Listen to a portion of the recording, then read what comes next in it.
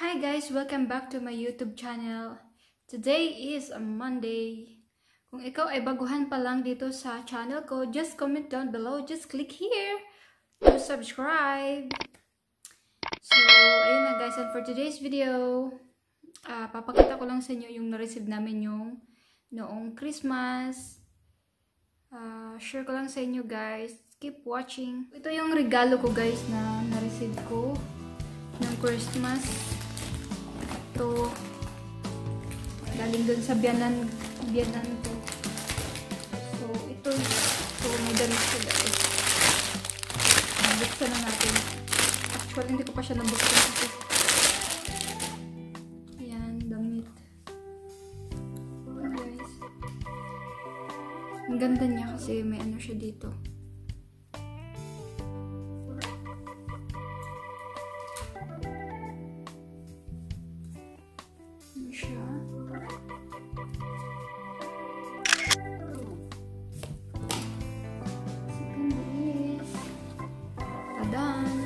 Pa din siya, guys.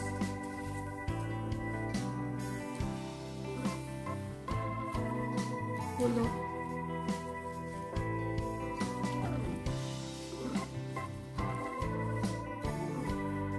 Next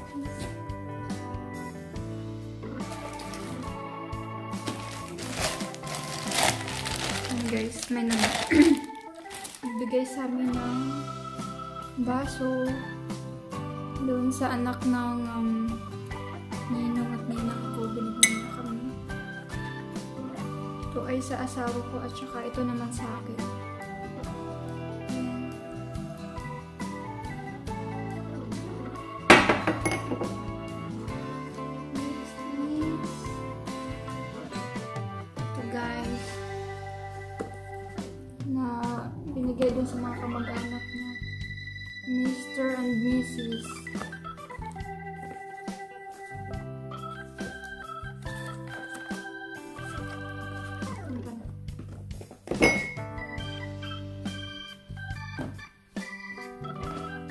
Tsaka ito para sa buhok.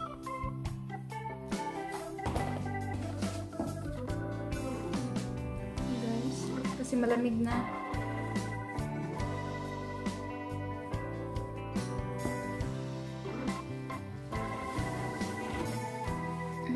para sa lamig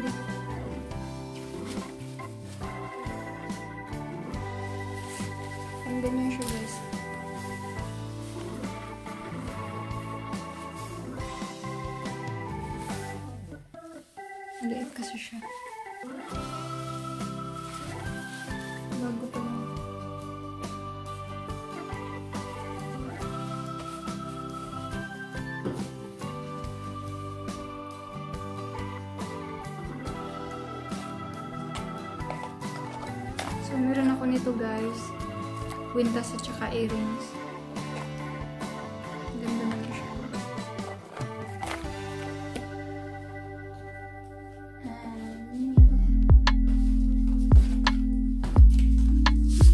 This one, guys. Card.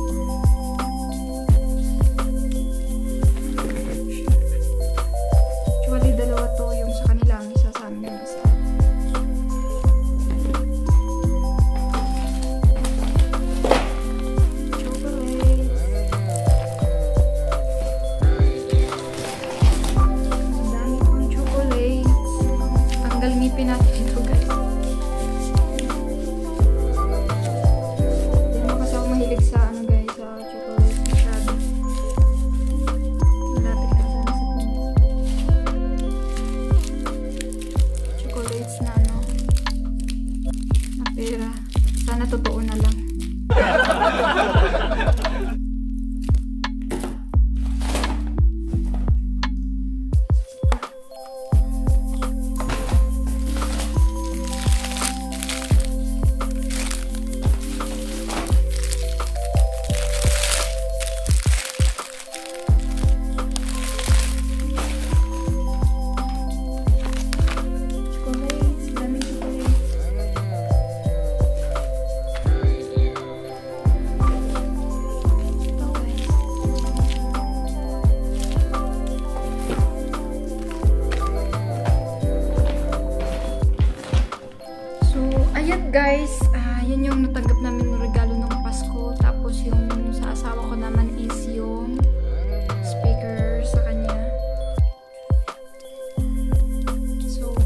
ganun talaga sila guys pag ano, pag nagbigay. Kumbaga, maging masaya ka lang. Pero tayo kasi kahit kahit tayo hindi naman okay na sa atin kahit wala naman tayong regalo basta tayo nakapagbigay, di ba? Tapos, and guys, and i-unboxing natin yung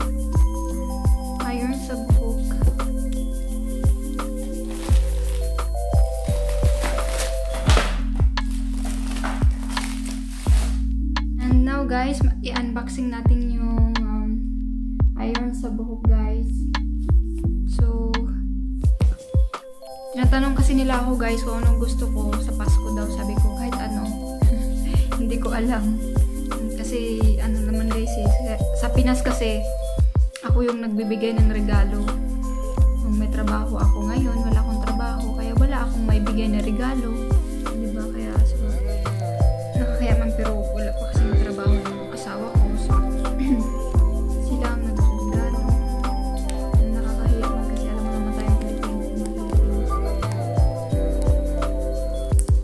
Guys, mas okay sa akin yung akong nagbibigay ng regalo kaysa akong binibigyan ng regalo. Pero wala eh. Um, so, i-unboxing natin siya guys. Ito. Nagulat na ako kasi ito yung niregalo nila. Kasi kahit hindi ko naman hinihingi. Pero, ano talaga guys, ito yung gusto ko. Kasi lalo na pag ano, pag pag ano kasi may mga party ganito ganyan, buhok, blower lang. And then pag nasa pag nasa kanila kami, nagpapaayos kami ng buhok, 'di ba, magbabayad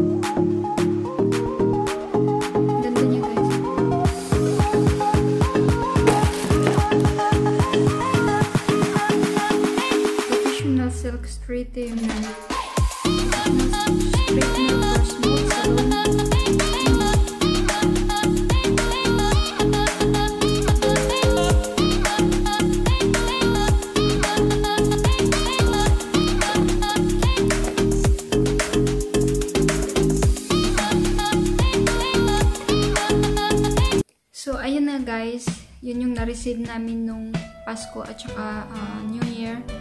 So, nagpapasalamat ako dun sa mga sabianan ko guys kasi simula nung pumunta ako dito hanggang ngayon, ah, hindi pa rin talaga sila nagbabago, ganun pa rin sila.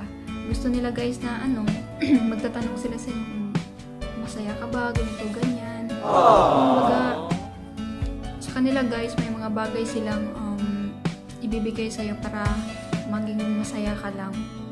Mm. Ganun sila guys pag nagmahal sila dito. Pakita talaga sila na nagmahal ka tapos lagi ka sila sabihan na I love you,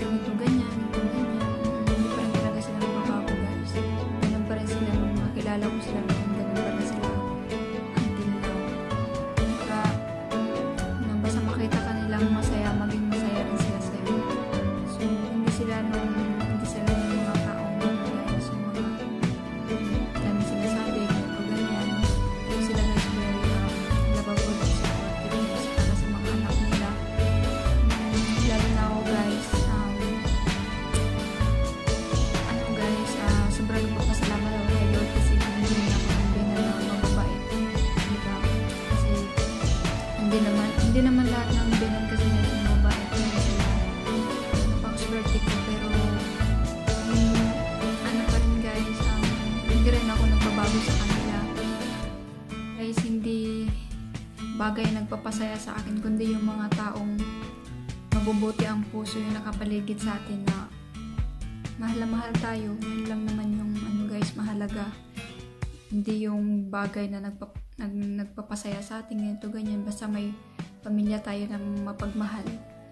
Ganun maya, mayaman na rin tayo sa pagmamahal. So yun guys pahalagahan natin yung mga taong nagmamahal sa atin. Huwag nating abusuhin yung mga kabaitan nila. Kung mabait sa atin yung mga tao maging mabait rin tayo. Huwag tayong maabuso. Kasi napakaswerte natin guys kasi nga hindi naman kasi lahat ng mga tao binibigyan ng gano'n na na mga taong nakapaligid sa atin ganito ganyan. So be happy lang guys. At syempre malagi, palagi tayong magpipray kay Lord na ganito ganyan kahit anong kahit madami mong problema, problema darating sa atin. So kapit lang tayo sa kanya guys. Um, think positive lang tayo lagi guys sa buhay. And dito na magtatapos ang ating ang vlog guys. Baka mag-iyakan pa tayo. So so hanggang dito na lang yung um, video natin guys. And thank you so much for watching this video guys. Um, please don't forget to like comment and of course subscribe to my channel. Just click here